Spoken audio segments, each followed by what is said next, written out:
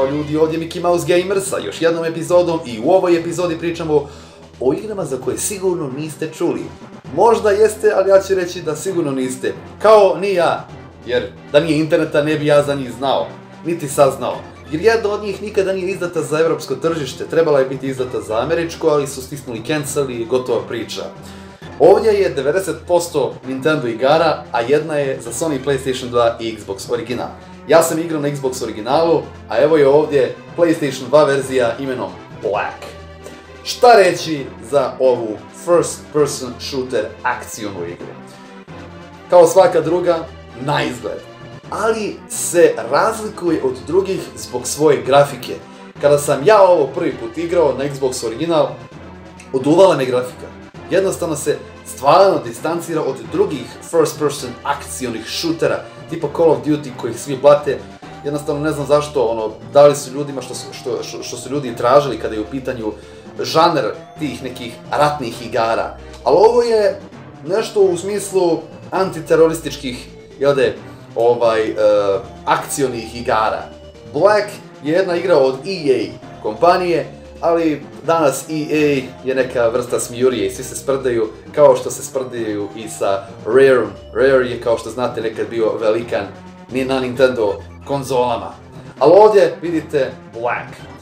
Jednostavno, nema se šta puno ovdje reći, to je obični first person shooter i znam kada sam drugoj pitao šta misliš o ovome, 90% njih je reklo wow, dok manjina kaže ne, nije to to. Ali moraš da sjedneš da vidiš kako je interesantna animacija kada pogodiš uh, i ubiješ neprijatelja. Obožavao sam da pucam sa kalašnikovim ovaj, mitraljezom ili sa snajperom, pogotovo sa snajperom, jednostavno ta animacija neprijatelja, tako je tada meni izgledao realistično, do duše i do današnjih dana. Idemo na nešto nesvakidašnje. Ja sam o ovoj igri pričao u epizodi, uh, ako se ne varam, uh, NES igara, ili je to bilo kada su poklone bili u pitanju, ne, ne, ne sjećam se više ni odakle mi je ova igra. U pitanju je Elite za Nintendo Entertainment System 8-bitnu konzolu. Ovo je, ljudi moji, Star Fox prije Star Foxa.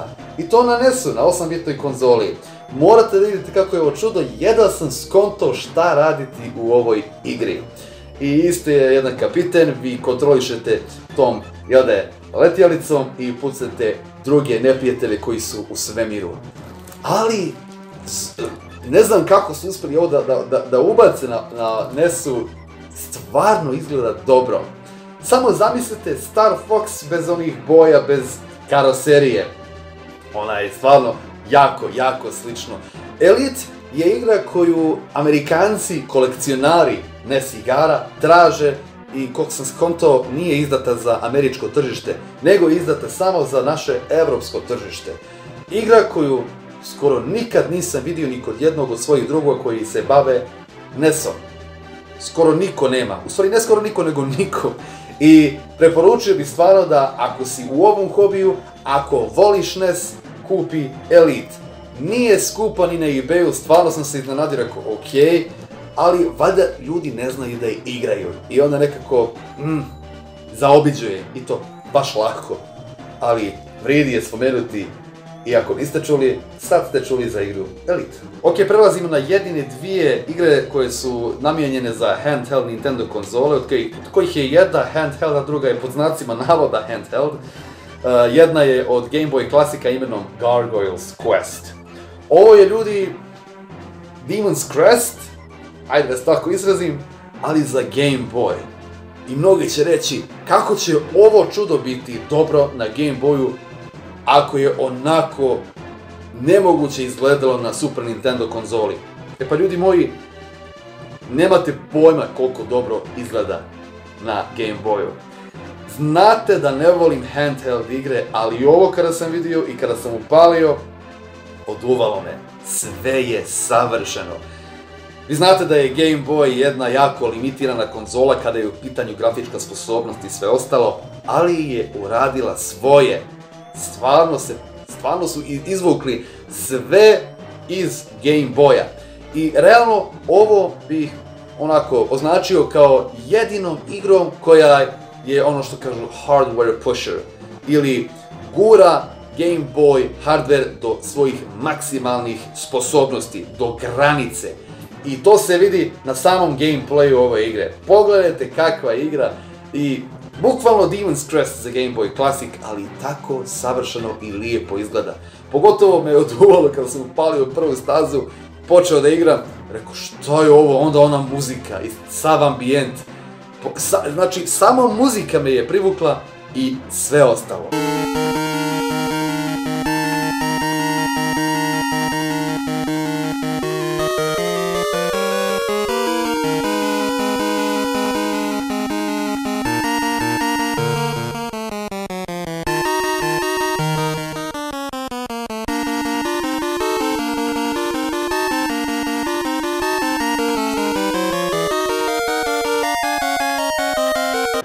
Onda sam je upalio, igrao, prešao i ako niste čuli, evo je Gargoyles Quest.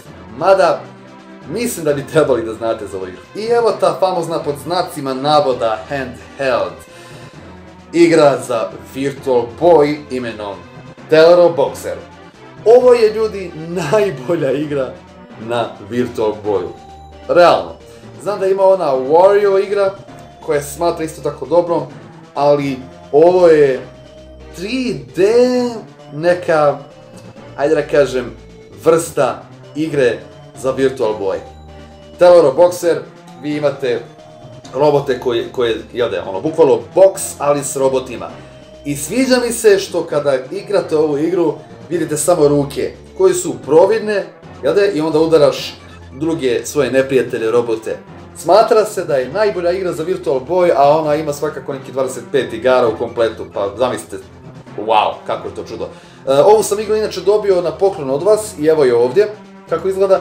Evo ima dole svoju košaricu, ona se ovako izvuče i vidite kako izgleda konektor Virtual Boy igre. Tako svaka igra izgleda, zatvoriš fino i evo prednja strana. Evo vidite kako piše Telero Boxer, Nintendo. Evo zadnja strana.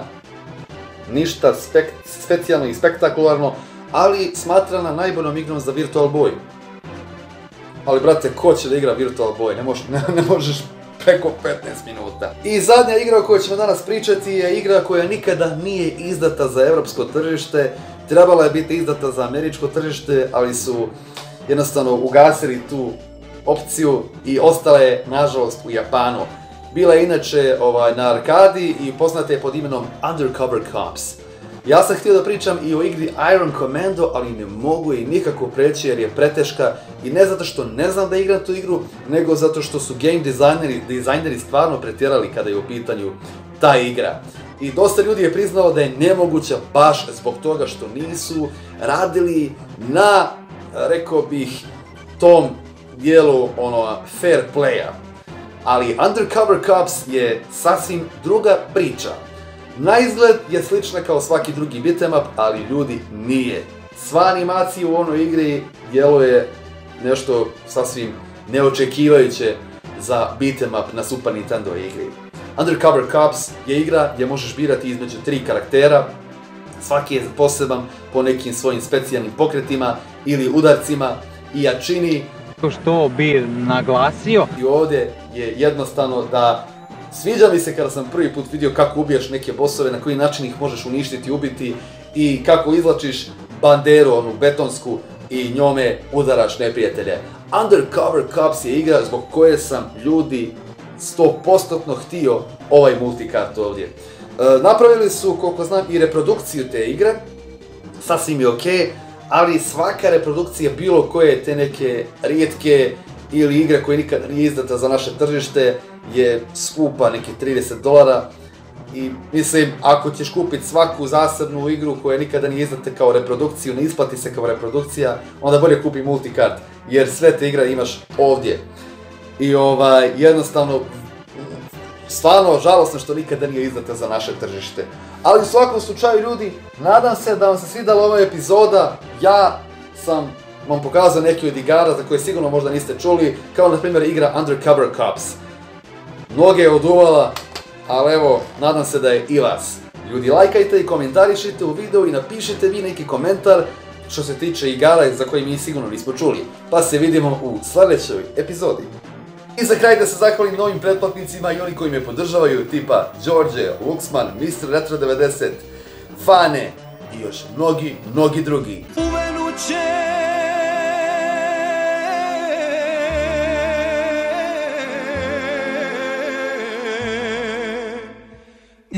아.